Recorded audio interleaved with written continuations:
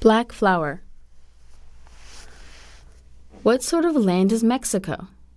This was at the Seoul Young Men's Christian Association. An American missionary spoke, his black beard covering his neck. Mexico is far, very far. The boy narrowed his eyes. Then where is it close to? The missionary laughed. It's right below America, and it's very hot. But why are you asking about Mexico? The boy showed him the advertisement in the Capital Gazette. But the missionary, who did not know Chinese characters, could not read the advertisement. Instead, another young Korean explained the contents of the advertisement in English. Only then did the missionary nod. The boy asked him, If I were your son, would you tell me to go? The missionary did not understand right away, so the boy asked again. The missionary's face grew grave, and he slowly shook his head. Then, if you were me, would you go? The missionary was lost in deep thought. The boy hadn't been long at the school, but he was bright and unusually quick to understand. He had been raised as an orphan, but had not grown timid and he stood out from the other students with similar stories. The bearded missionary gave him some coffee and a muffin. The boy's mouth began to water.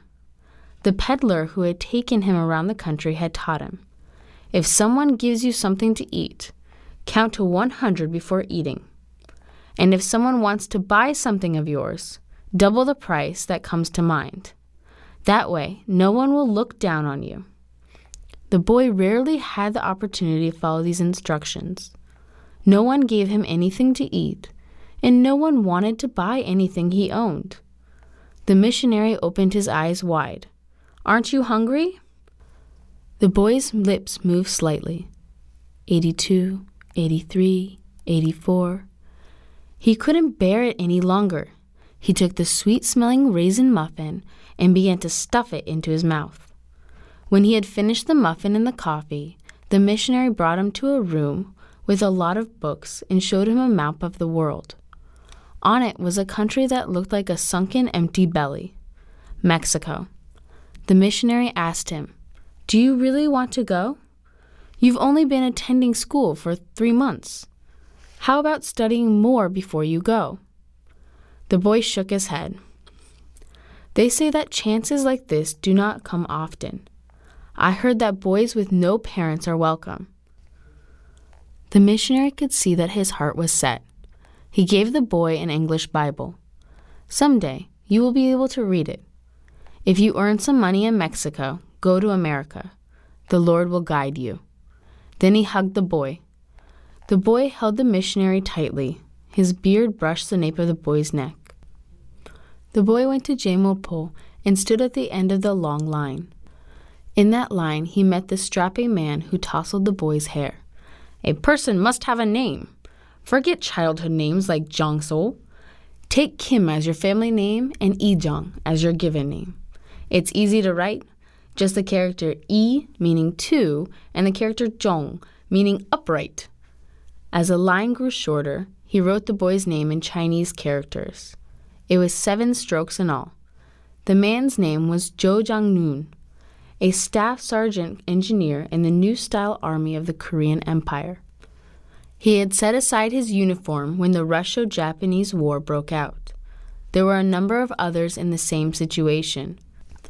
200 of these men, who had suited up together and trained in the new style long rifles with the Russian Advisory Corps, had thronged to the Jemulpo.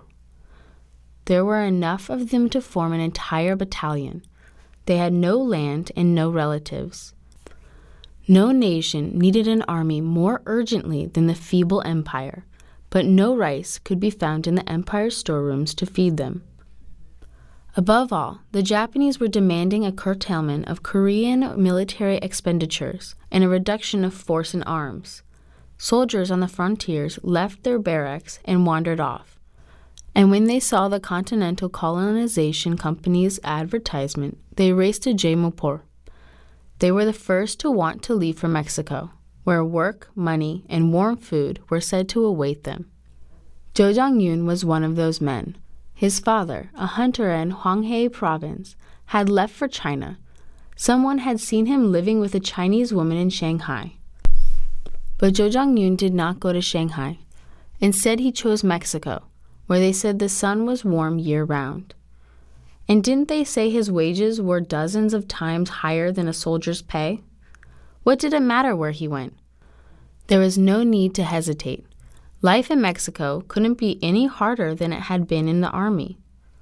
The boy cast his gaze over the ocean once more. Three black billed seagulls wheeled above his head. Someone had said that there was gold in Mexico.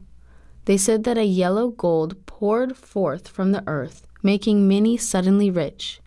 No, that's America, insisted another. But he sounded uncertain too. The boy repeated his name Kim E. Jung. My name is Kim E. Jung. I'm going to a far land, and I will return as an adult Kim E. Jung. I will return with my name and with money, and I will buy land, and there I will plant rice. Those with land were respected. That was a simple truth the boy had learned on the road. It couldn't be Mexican land, it had to be Korean land, and a rice paddy. But another thought had raised its head in the boy's heart the thought of another strange land called America. The seagulls fluttered above the surface of the water as if dancing.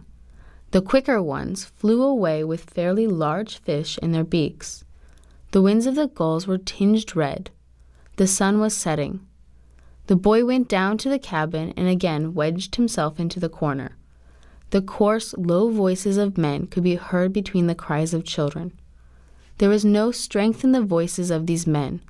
They did not know their future. Their words dissipated like the foam that washed against the prow of the ship. The boy closed his eyes. He hoped that he would not wake until breakfast.